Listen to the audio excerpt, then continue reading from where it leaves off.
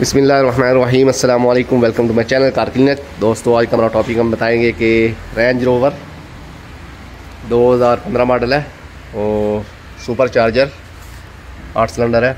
तो दोस्तों, इसका पंखा कैसे खोलना है? तो पंखा खोलने के लिए कौन सा टूल यूज़ होगा, हम आपको बताने वाले हैं। जो हमारे चैनल पर नए हैं प्लीज़ सब्सक्राइब करें बेल आइकन को प्रेस करें, ताकि नई से नई वीडियो आप तक पहुँचती रहे। दोस्तों, ये टूल है पंखा खोलने के लिए। तो सबसे पहले दोस्तों, आपने ये वाली जो चाबी है टूल है, ये कट अंदर वाला है। ये इस तरह लगाना है, इंजन वाली साइड पे। वो जो बोल्ट लगा हुआ है पंखे का, पुली का, ये कट इसमें ऐसे कुछ इस तरह फंस जाएगा। ये दोस्तों, एक चाबी लगा दी है, टूल एक लगा दिया है, ये पंखे को।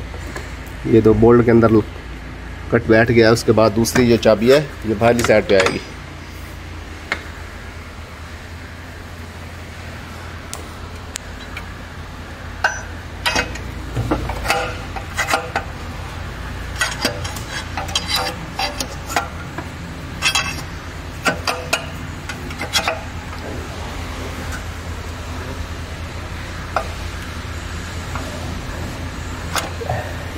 दोस्तों, कुछ इस तरह खुलेगा।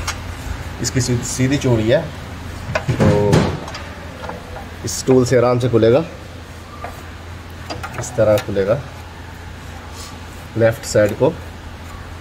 तो दोस्तों, जो हमारे चैनल पे नए आए हैं प्लीज़ सब्सक्राइब करें बेल आइकन को प्रेस करें, ताकि नई से वीडियो आप तक पहुँचती रहे। वीडियो अच्छी लगी तो लाइक करें शेयर करें। दोस्तों, इस तरह बस ये कुछ। इस साइड पे खुलेगा और राइट साइड पे टाइट होगा। इसके बाद आपने चाबी निकाल लेनी है दोनों।